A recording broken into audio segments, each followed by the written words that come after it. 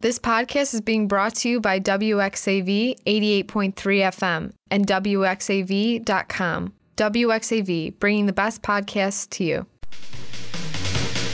Welcome to the Center for Success podcast, a program designed to help St. Xavier students succeed academically and on their chosen career path. Your host for this program is Tracy Jones, Director for the Center for Success. Hello, and welcome to the Second Student Success Podcast. This is a show dedicated to helping students succeed in their academic journeys. In this episode, we'll discuss the College to Career Expo and elevator pitch strategies. I'm your host, Tracy Jones, Director for the Center for Success. So, let's get started. What is the College to Career Expo?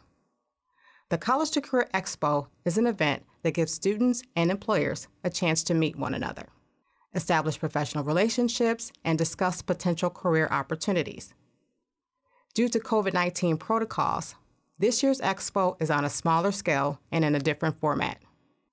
The expo will be located in the diner, first floor, Ward Center, from 10 o'clock a.m. to 1 o'clock p.m., Monday through Thursday, excluding Fridays, throughout October.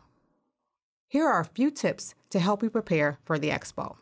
First, Research companies that you're interested in and come prepared to ask questions.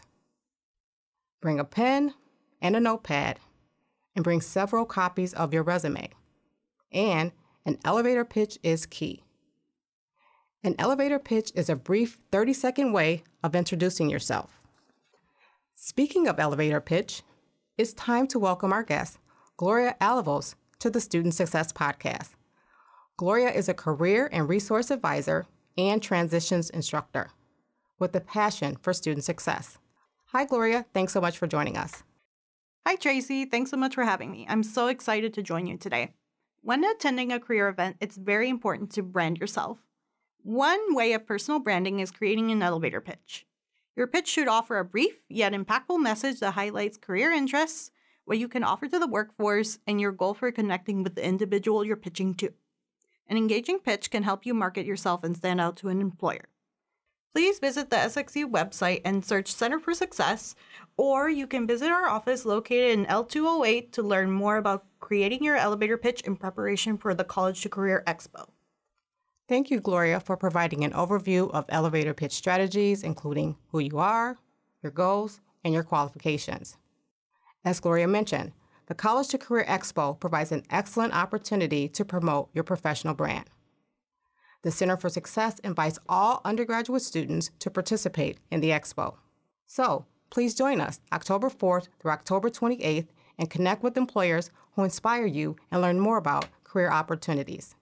You can find more information about the Career Expo on SXU's social media platforms, including LinkedIn, Snapchat, and Instagram.